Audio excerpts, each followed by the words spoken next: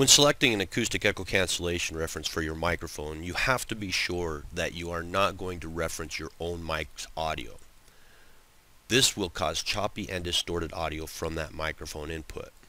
In this example here, we can see that the lectern mic, input number 1, is routed to output number 8, which is feeding the room speakers.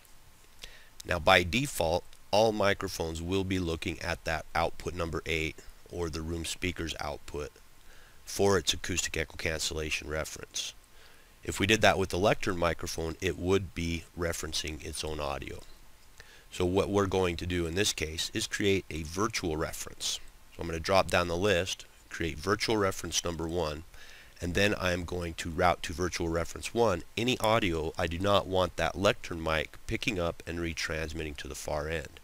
So in this case it will be program left program right audio, video conference receive audio, and telco receive audio.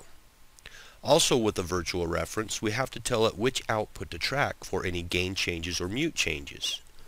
So in this case, virtual reference 1 output gain tracking, I am going to choose the output feeding the room speakers, which is labeled room speakers, and that is output number 8.